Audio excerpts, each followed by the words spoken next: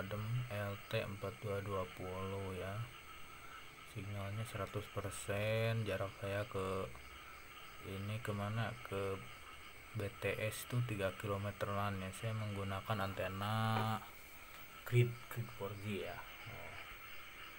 Saya menggunakan antena grid 4G ini unit modemnya. Saya temukan ke STB menggunakan USB hub ya menggunakan power adapter 12 volt eh 12 volt 2 ampere 5 volt ya.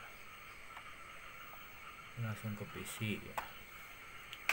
Saya jual bukan ada masalah atau apa ya saya jual karena kan ada bekas ini bekas apa pecahan dikarenakan gak laku mau saya jual satu. Tadi saya mau jual yang itu aja yang orbit mark cuman gak laku-laku ya tadi saya yang mana aja yang laku duluan mau saya pakai gitu kan.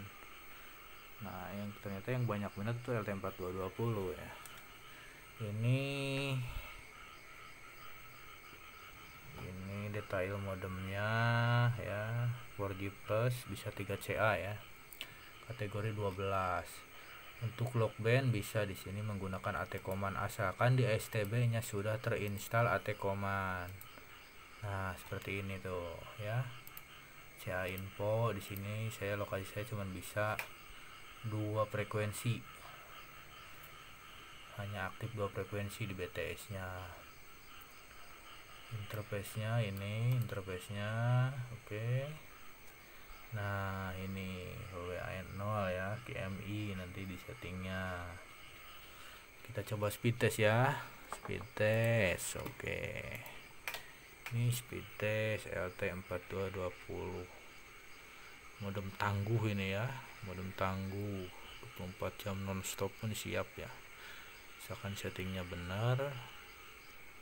Oke. Biasanya di atas 50an bps ini mungkin karena ini apa? Uh, hujan ya ini. Hujan sih enggak cuman ini apa uh, mendung mendung. Saya menggunakan XL saya menggunakan XL nah itu di atas 40 itu.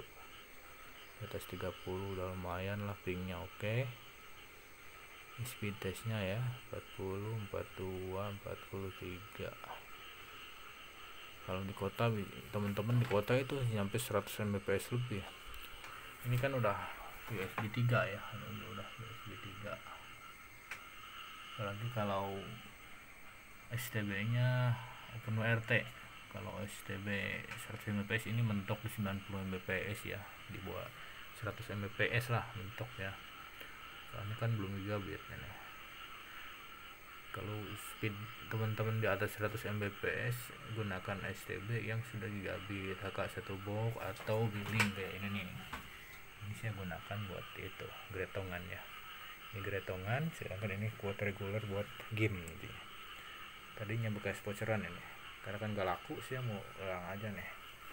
Mikrotik juga udah setting nih full bocoran. Sedangkan ini untuk load band ber, ber, bekas lens nggak saya pakai lagi. Karena gak laku vouchernya di sini. Ini langsung ke PC oke sudah cukup jelas ya. Modem normal saya pakai sehari-hari ini saya pakai sehari-hari untuk modemnya ya. Modemnya saya pakai sehari-hari ini oke. Oke kita coba informasinya nih ini udah saya pakai apa uh, emailnya saya udah saya pakai email orbit max ya. Email orbit max.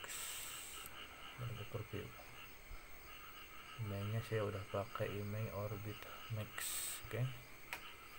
nah XL 4G plus ya. coba debugnya di sini keterangannya nih. Ini bahkan orbit max sekalipun ya kalah untuk SNR nya lebih kuat ini. Untuk CNR nya sini CNR 20 dB ya udah cukup jelas ya. Untuk lock bandnya di sini juga bisa.